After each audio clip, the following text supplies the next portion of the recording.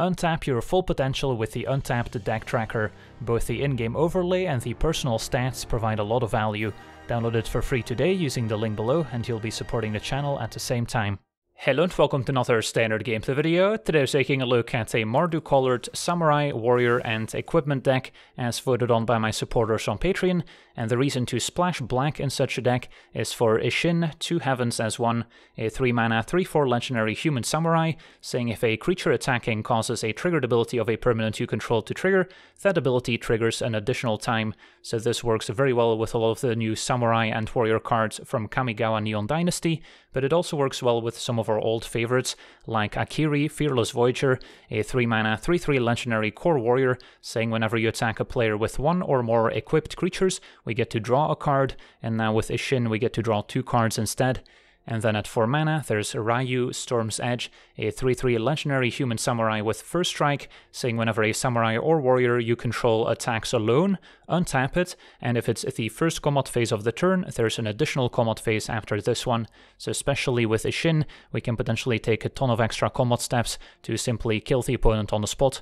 And because we're incentivized to attack with a samurai or warrior by itself, it also makes sense to include some equipment to power up the one creature that's attacking, so it can output more damage, so it all works very nicely together. So let's take a look at the rest of our deck, starting out with our 1 mana equipment, where there's Eater of Virtue, 1 to play, 1 to equip, giving the equipped creature plus 2 plus 0, and then whenever the equipped creature dies, we exile it, and as long as a card exiled with Eater of Virtue has flying, then the equipped creature has flying, and the same is true for first strike, double strike, death touch, haste, hexproof, indestructible, lifelink, menace, protection, reach, trample, and vigilance.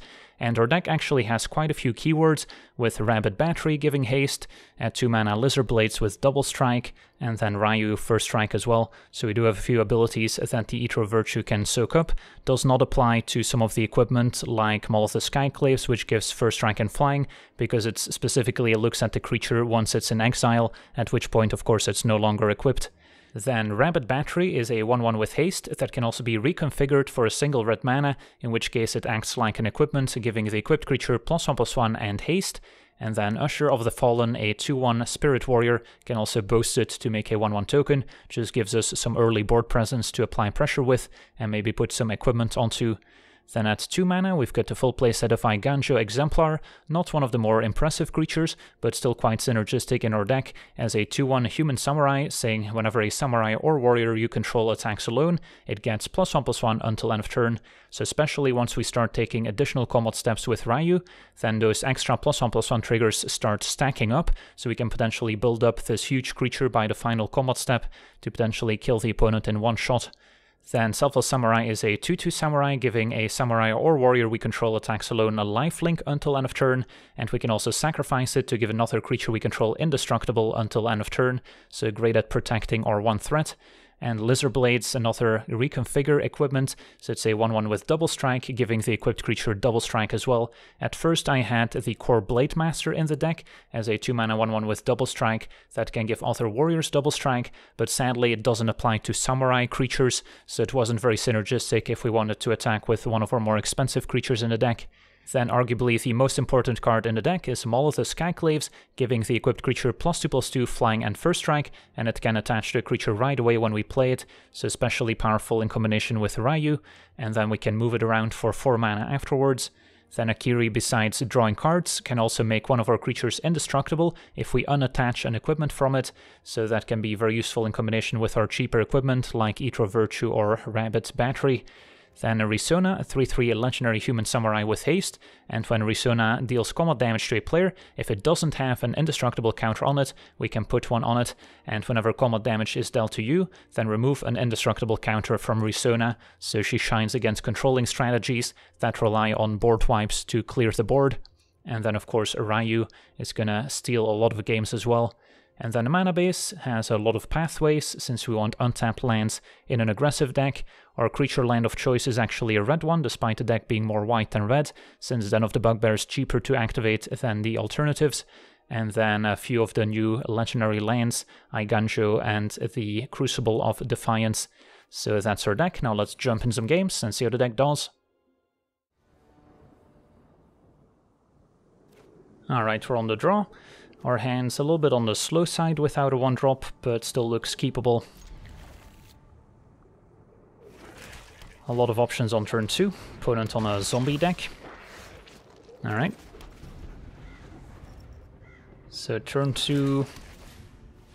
Typically don't want to play Samurai first, since we can maybe make use of the ability if we play it later. Now that being said, don't want to expose Lizard Blades or Exemplar to the minus one, minus one from Shambling Ghast necessarily, so we might play Selfless Samurai anyway.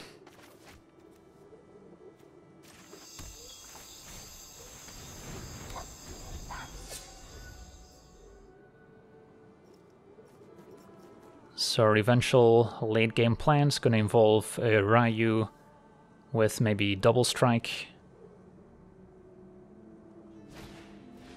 Uh, Eaten Life gets rid of our samurai. That's exiled. And a scab can grow the champion by two. So we're under quite a bit of pressure already. Now I can play battery and a 2-drop. And then it's probably gonna be Exemplar.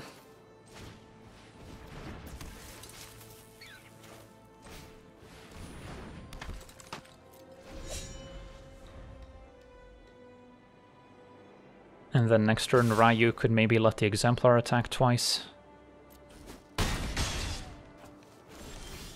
Right, opponent's missing a third land, so that's hopeful for us. If I go for Selfless Samurai, could also start gaining some life back. Although Raiyuu attack with Exemplars, too good to pass up on. Especially if next turn I would get to drop Samurai and Isshin to gain a ton of life as well. This also untaps our creature, so Exemplar can always block if needed, and a 3-3 first strike. Not a bad blocker either. Just uh, Isshin plus equip battery could be quite powerful next turn, if we don't feel like we need to gain life. Secluded Courtyard, a nice new tool for tribal decks. Opponent's gonna pass with 3 mana, presumably holding a removal spell. Okay, so with that in mind, I guess we start by playing Selfless Samurai. Opponent's gonna respond kill Raiyuu. And then I can still play Isshin and make a good attack, I think. Alright, no removal and response, so we get to play both here and make a great attack with Raiyuu. Send Raiyuu with lifelink times 2, plus 1 plus 1 times 2, and we'll get two additional combat steps here too, with uh, Raiyuu getting bigger every time thanks to the Exemplar. And yeah, that's just too much for the opponent to overcome. Awesome, on to the next one. Alright, we're on the play, and what do we think of this hand? Could use an extra land or two, but we get to play maybe a battery on one. I guess turn two is not all that exciting. Unless we draw a plains off the top, then we can usher equip. And we can still play a second battery. I'll try it. The curve is very low. It's just that our second land comes into play tapped, which is not where we want to be. And eventually Raiyuu could be nice too. Opponent on a red aggro deck as well. With a reinforced Ronin. So more of an artifact synergy deck. Alright, awesome. Found our land. So now I think I prefer Usher Equip over anything else.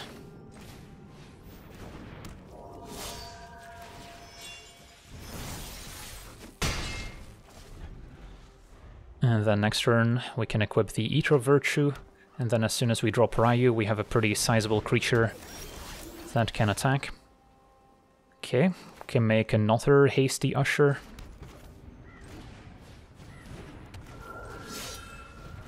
Doesn't play as well into the plan of Raiyuu take an additional combat step, but gets more damage in right now.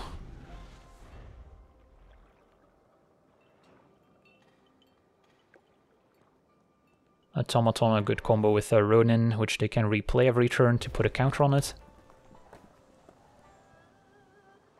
Serpent already at 10 life. This would be a great spot to find Maul of Skyclaves to fly over. Uh, As our opponent plays double battery and stays back. Okay, Selfless Samurai seems pretty good here. Can play it, attack with Usher after maybe putting an extra battery on it. So it's a 4-3, would still trade for Automaton. So I guess we could just play Samurai and attack with Usher without moving anything.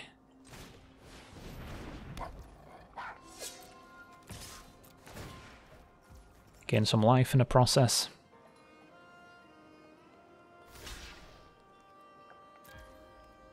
Opponent goes for the trade.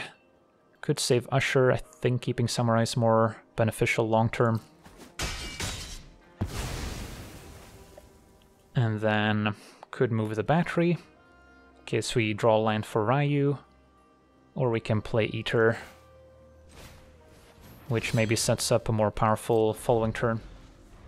Also have the option of attacking with both Ushers. Means we wouldn't have gained life, but maybe get in more damage, which arguably is more important here with our opponent at 10. But I also don't mind padding our life total when we know our late game with Raiyuu is going to be very powerful. Reactor, another good combo with Ronin. Alright, so I could play Raiyuu now. Although Usher would end up uh, dying to the automaton. So instead, kind of liking put everything on Usher, attack with it, and then I can boast as well. And then next turn we can maybe play Raiyuu, assuming they didn't trade.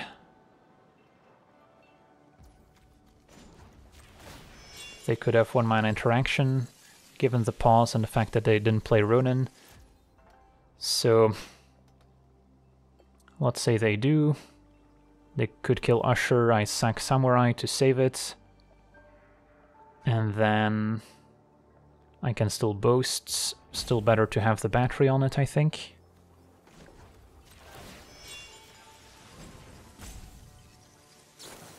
Right, so we don't get to life this turn. But we get to hit for 6 and make a token. So if they do use the reactor, we still have a backup creature at least. And then it's Raiyuu's time to shine.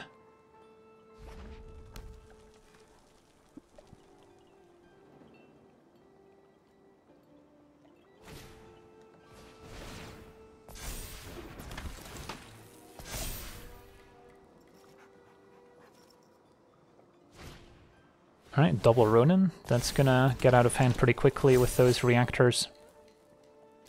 The Ronin can attack.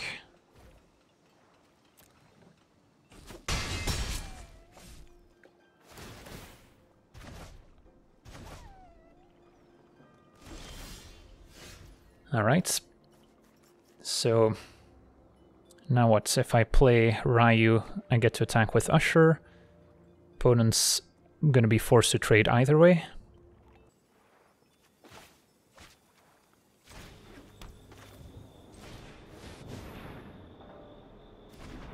So now I can play Raiyuu, put a rabbit battery on it, and then attack with both, and then opponent should be dead since reactor is 4 mana to activate. So we don't get to trigger Raiyuu's ability. I guess your opponent can still channel to potentially find a 1 mana removal spell, but not gonna play around that. And our opponent concedes. Awesome. On to the next one. Alright, we're on the play with a somewhat uh, reasonable hand. Ideally we find an untapped second land, so we can curve out better. For now we can play battery on one, and then we've got plenty of equipment to go with Akiri.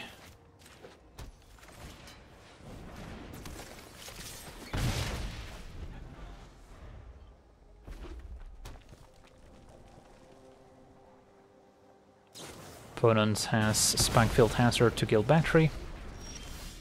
Did find the planes. So Lizard Blades seems like the most efficient play here. Also going to be met by removal. Right, now we can double spell. Don't want to play Akiri until I can maybe draw a card with it right away.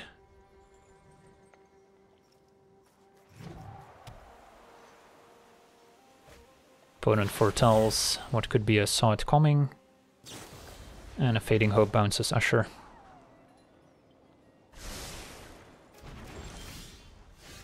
Okay, so I could double spell again Usher Samurai.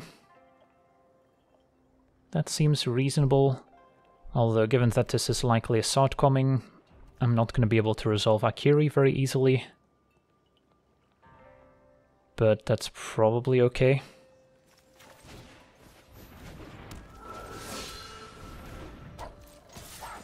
At least the Samurai gives us a bit of insurance in the event of a sweeper. And then if they want to hold up counter spells, we can just equip the blade somewhere to get more damage or boost Usher. Let's uh, behold the multiverse instead. Serpone goes digging. They're going to try and find some cheap removal.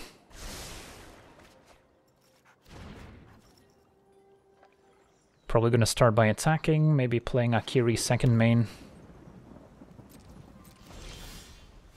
Don't have the mana to play Akiri and equip anyone. And going for Maul could be bad if they have a Fading Hope. So, yeah, let's start by attacking. See if there's a response. There doesn't seem to be one. Still like resolving Akiri while we can. Although alternatively I could equip the blades and boast Usher. And then if there's a sweeper I can save my indestructible creature thanks to the samurai. And keep the blades around, and then Akiri could be a nice follow-up if there's like a burn down the house next turn. Whereas if I play Akiri, I can only save one creature and we lose the blades. So maybe that's still better. So I did miss out on a little bit of damage doing it this way but played around a Fading Hope better.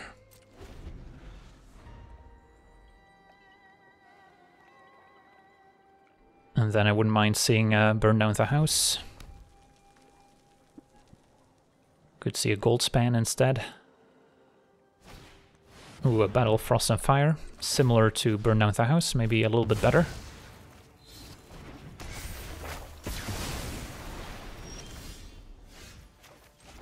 I think I still prefer the card draw, and then Akiri can also maybe use its ability to make something indestructible. Rabbit Battery. Now the problem with Akiri and reconfigure creatures is that if we make Usher indestructible, we lose the blades instead. I could also play Battery, equip Akiri, that way if there's another sweeper we get Blades and Rabbit Battery back. Next turn Maul on Blades and Battery. Gives it 3 extra power, so that would be lethal. I guess that's also reasonable.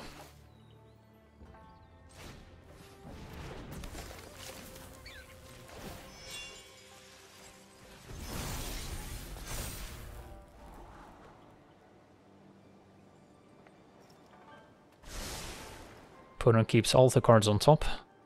That can be good for me. So is 6 mana total. Opponent's just gonna pass. Well, I have to mention there's gonna be some instant speed interaction here. We still have Akiri's abilities to use. Question is whether we want to move anything or play a Maul. Don't think playing Maul is gonna work out. We also have the option of unequipping the equipment here so they can attack as creatures instead.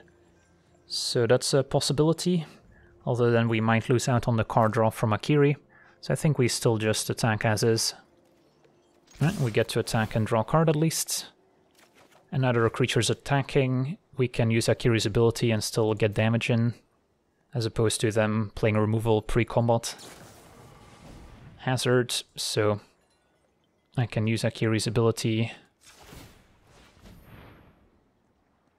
to unequip Lizard Blades, make Usher indestructible.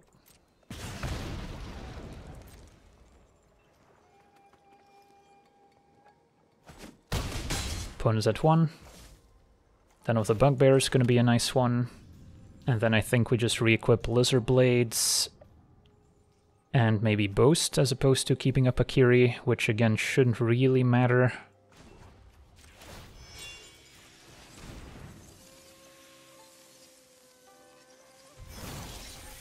And then with all our creatures now and a creature land, we should be able to deal one damage next turn.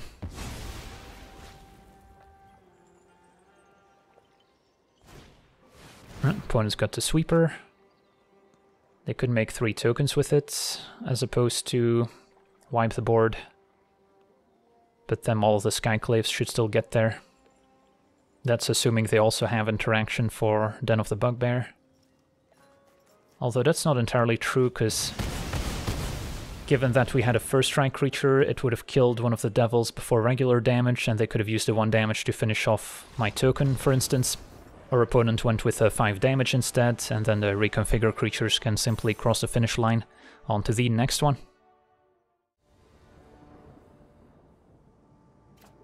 Alright, we're on the draw. What do we think of this hand? It's a little bit on the expensive side. Can play Battery on 1, equip it with Eater on 2, and then Eater would also gain haste if they kill it. Maybe that's still good enough, but then we're lacking creatures until we hit Raiyuu, which is pretty far away. So maybe it's still worth a shot once we hit a third land for Maul to start flying over. And then I guess we can play this on red.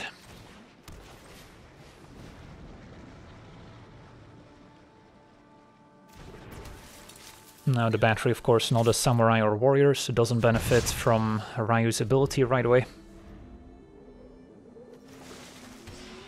But against the green deck, Maul should be good, and Usher is a nice pickup, as now we can play Usher, put the battery on it, and hit for 3, and that sets up our Raiyuu a little bit better. I think I'm gonna give up the black mana, in case we need double whites for Maul later. Although I guess given that we have two Mauls, that's unlikely. So I guess we can uh, still save the black mana and postpone that decision, since I'm probably not going to need double red anytime soon.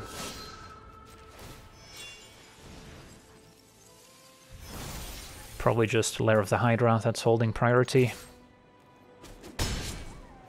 Alright, so if they play a big blocker like an old growth troll, we can just fly over.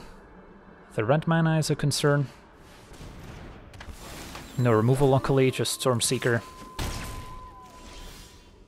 Alright, we're setting up for Raiyuu. Hopefully we get a fourth line next turn.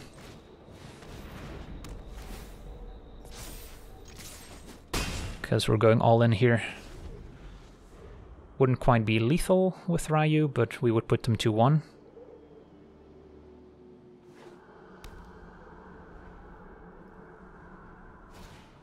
Chariots to make some ground blockers.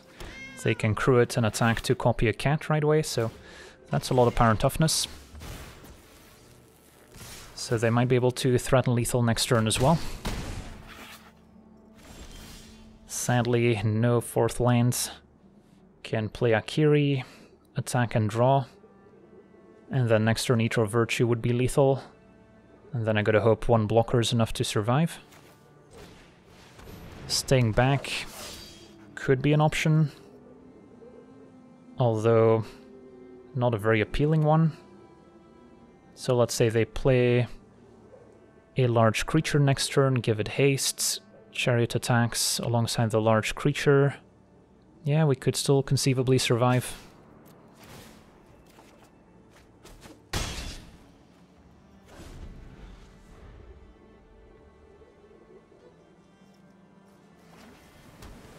There's blue mana, so could see a Goldspan Dragon plus maybe some interaction. Akiri is most likely going to be forced to chum block. Dragon's Fire kills Akiri, so I'm guessing we're dead. Lair of the Hydra can turn into a 1-1. They can crew chariots, attack, and then the plus 1 power from Stormseeker is going to make the difference. And exactly 10 damage here.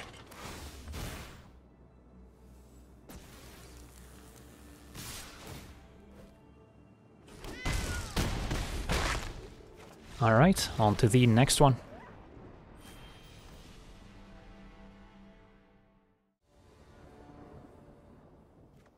Alright, we're on the draw. Hand seems keepable.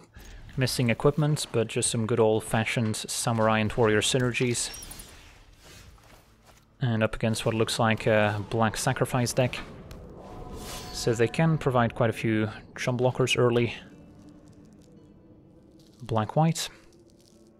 At least the Exemplar lets us get past Eye Twitch if they keep it back. Shambling Ghast is a little bit more tricky to attack into, as they can jump and then finish off the Exemplar.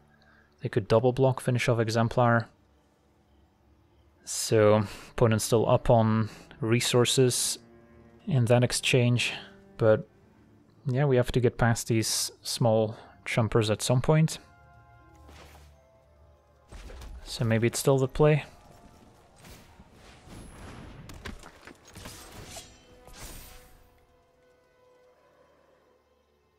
Instead of double blocking, they could also just chump with Ghast, finish off Exemplar, but double block happens.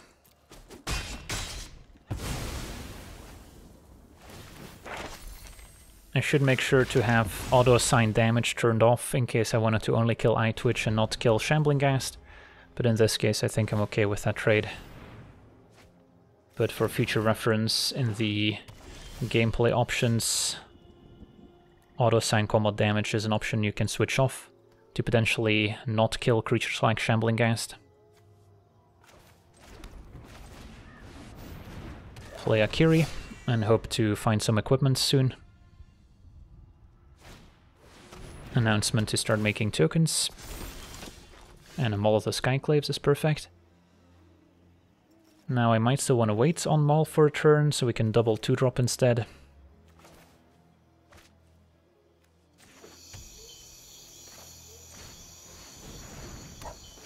And then a Meathook Massacre for 2 still doesn't kill Akiri at least. Opponent takes it. And then next turn we can go drawing cards.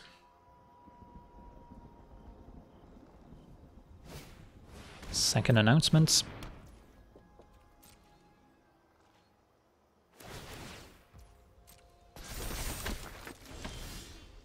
Alright, we're gonna have to fly over. And then... Don't think anyone on the ground is attacking. And then we'll equip Akiri and make sure we have white mana left over to potentially use Akiri's indestructible ability. Although don't expect to need it, since most removal from the opponent exiles. So probably no point in playing Battery as it could just get swept up by a Meathook Massacre.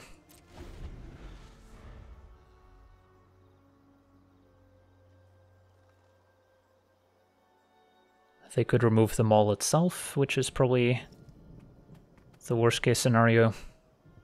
And then we'll have to fight through all these tokens on the ground. Tokens attack. Probably implies that a massacre is incoming. I guess they could massacre for one if I block, and they may not have a fourth land. Although they might also just want to draw cards with announcements. So tough to say. I'm not too upset if they massacre for one. And uh, it's probably worth it to block in that case.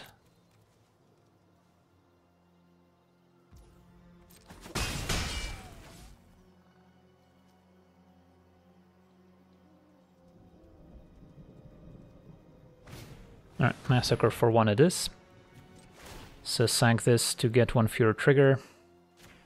Exemplar is gonna die either way. Indestructible doesn't help.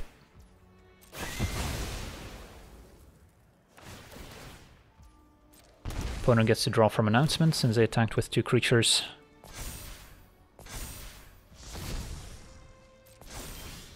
And Raiyuu is an awesome draw.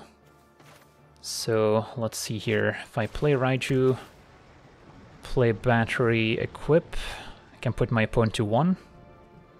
Still seems pretty good. If I just give Raiyuu haste, I guess I could attack for five and then get the extra attack step, send both. That's even better.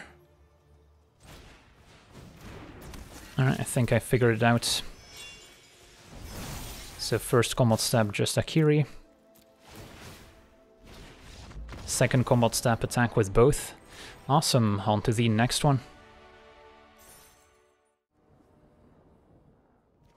Alright, we're on the draw, and our hand is okay. Of course, double eater is a little awkward, and my land 2 comes into play tapped but I'll try it, especially on the draw, we're more likely to find the land we need.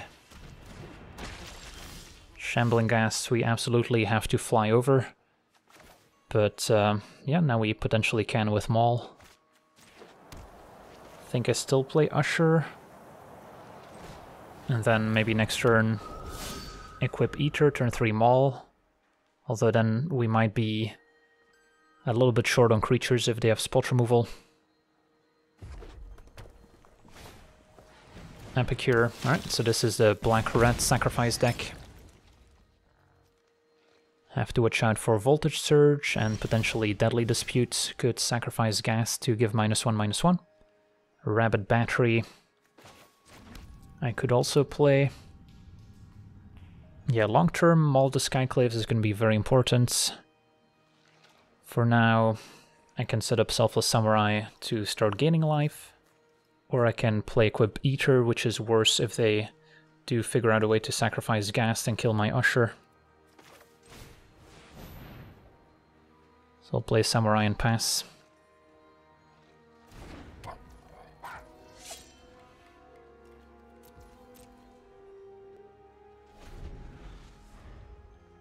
And then if an anvil shows up, at least we have a way to fly over it. A reactor's gonna start ticking up. So that's eventually an answer for my creature, but we do have a Samurai to give it indestructible. Alright, so Maul on Usher.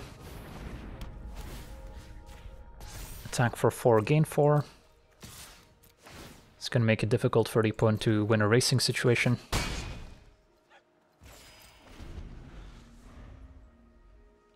And next turn we're gonna stack even more equipment onto it.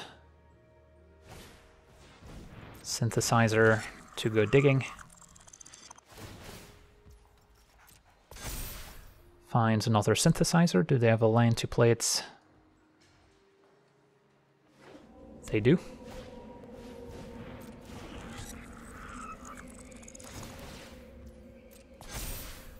Finds another Shambling Ghast, that's fine.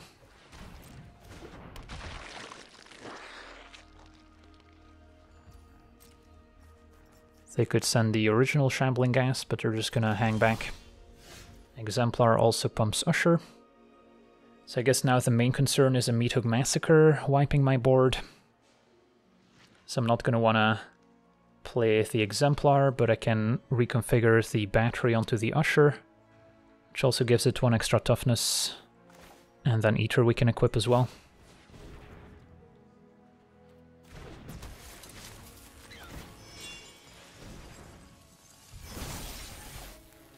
And then more red mana is probably fine.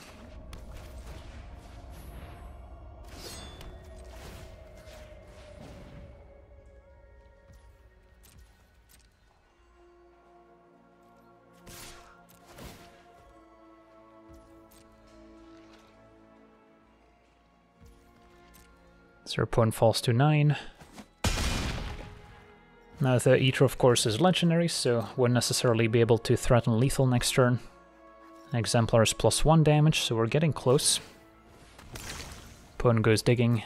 And they actually had a Meathook Massacre in hand, although it may not be good enough here, or if they happen to have multiple copies. Of course, I could massacre away the Samurai, and then the Reactor could finish off my Usher, although that still leaves my Maul the Skyclaves to potentially cross the finish line.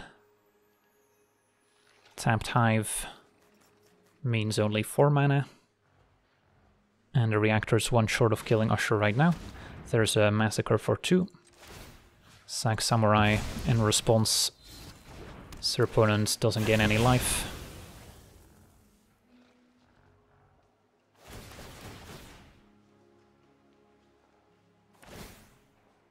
Although I guess Shambling Ghast can still finish off Usher. Yeah, that's fair. Do have a Rabbit Battery and a Risona now too. So how about Risona? Equip of Virtue to it.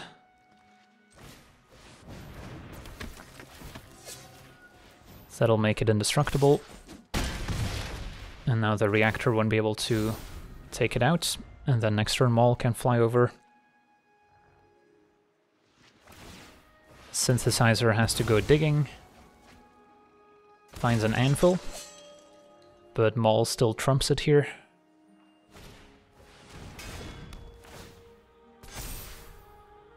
They can potentially gain life with Massacre. Although I guess even that doesn't work, because um, Anvil's already tapped now. So yeah, Maul equip should be game. And our opponent packs it in. Yeah, knowing the opponent's deck and strategy is very important in any game of Magic. And of course we're intimately familiar with the Black-Red Sacrifice deck featured a few days ago. Otherwise we might have made a few mistakes and gotten blown out by Meat Hook Massacre or some other removal spell. Alright, so what are the closing thoughts on this Mardu Samurai deck? Sadly, I don't think the Black Splash for Two Heavens as one is really worth it. It makes the mana base less consistent, and Isshin is the type of card that's usually a win more card, so it only really helps us when we're already in a favorable position, and doesn't necessarily help us catch back up when we're behind, and that's an important property of cards in Standard nowadays. And then I was quite impressed with Maul of the Skyclaves, giving our creatures flying, so I would focus more on Maul of the Skyclaves and kind of the equipment theme, and all the reconfigure cards also performed quite well, so I was happy with those. And then of course Akiri seems like a natural synergy, and you could still play Raiyuu as a potential curve topper, since it still works with our warriors, and has natural synergy with equipment, so being able to attack twice with our equipped creature could potentially win a game that we would otherwise be losing. So I think Raiyuu still has a home in this red-white warrior equipment deck, at which point if we introduce more warriors and cut some of the samurai, we could also maybe bring back Kor Blademaster to give our creatures double strike, which is a card I ended up cutting from the samurai build. So that's where I would go next with this archetype, but uh, hope you enjoyed nonetheless. I want to thank you for watching, and as always, have a nice day. I also want to thank all my patrons for being part of the channel, and you can become a patron yourself today and decide the topic of future videos over at patreon.com forward slash legenvd.